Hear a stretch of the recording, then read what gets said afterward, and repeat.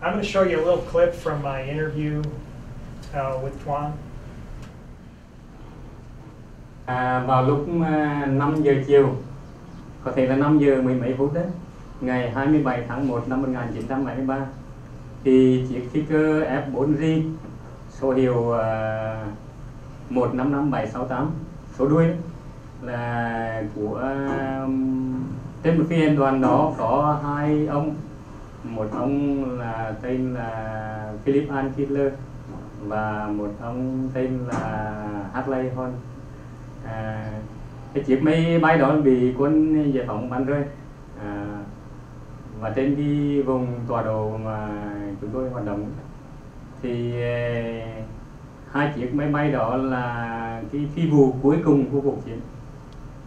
cái phi vụ cuối cùng của cuộc chiến tất nhiên là còn khoảng 15 phút nữa thì chiếc máy bay đó đã rời Việt Nam và trở về hạm đội 7 nhưng mà khi chiếc máy bay bị bắn rơi thì hai ông đấy nhảy dù. Thì hai cái phi công đó nhảy dù xuống cách cái ờ, đơn vị đóng quân của tôi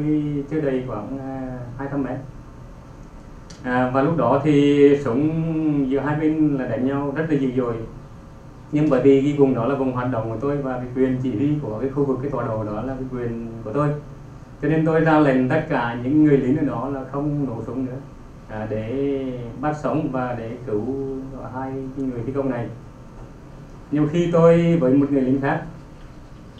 ừ, ra đến cái chỗ mà cái người phi công mà nhảy dù xuống đáp xuống thì tôi đã thấy ông uh, Hitler là bị thương bị thương ở đùi.